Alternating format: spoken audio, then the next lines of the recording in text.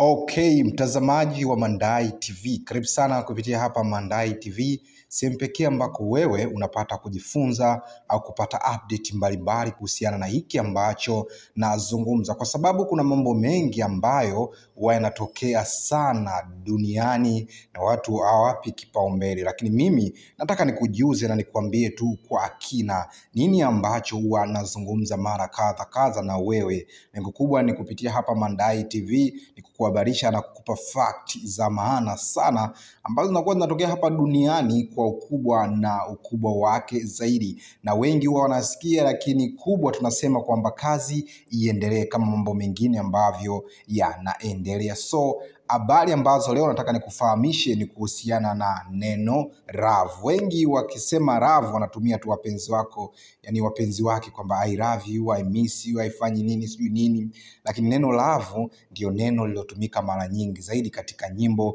kuliko neno lingine zaidi.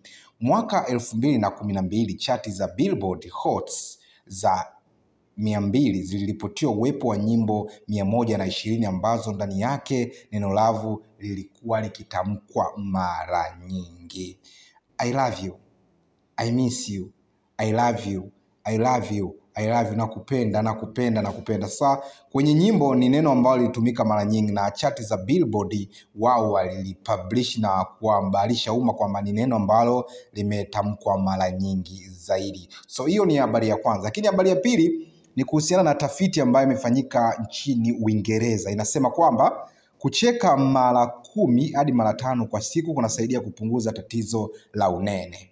Kwa mujibu wa chuo cha afya cha College of Health kilichopo Uingereza kimesema kuwa kucheka kunafanya misuli ya tumbo kutanuka na kurelax, hivyo kunasaidia kuondoa mafuta yasiyokuwa na faida mwilini. So hii habari kwanza imenifurahisha, ukiachana tu na kwamba hii yenyewe kwamba kucheka ni faida au kupungua ule, Kwanza imenifurahisha kwa sababu kuna watu sasa hivi Tanzania wao kucheka wanaweza wakatumia siku tano mpaka nne, yani anaweza leo asicheke, kesho asicheke, kesho kutwa asicheke, afu siku ya tano ndo akacheka. So hii ni kitu ambacho nimefurahi sana kupitia hizi tafiti ambazo watu wanafanya. Kwa hiyo nakushauri wewe ambaye huwa unanuna nuna, uwe unajitahidi kucheka at least kwa siku mara kumi mpaka mara kumi na tano. Lakini kwangu mimi mimi nimejitimiza zaidi, mimi nacheka kwa siku mara ishirini. So nahisi kwamba hata sasa hivi napungua, inawezekana kuwa ikawa ni moja ya sababu kuhusiana na hizi tafiti ambazo zinaendelea kufanyika nchini Uingereza. So hii ni habari ya pili ambayo nimekuhabarisha kupitia hapa Mandai TV.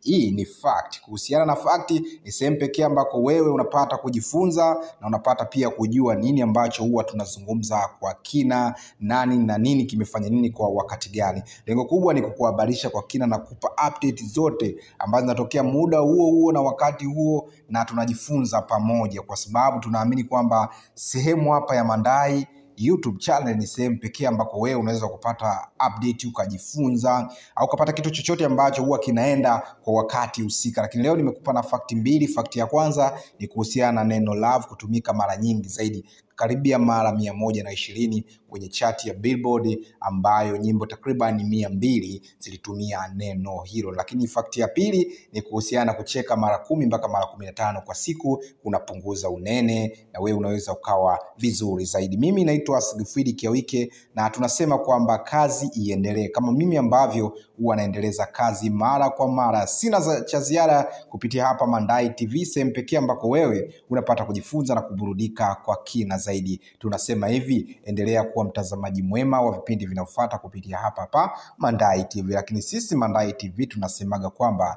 hatuna dogo.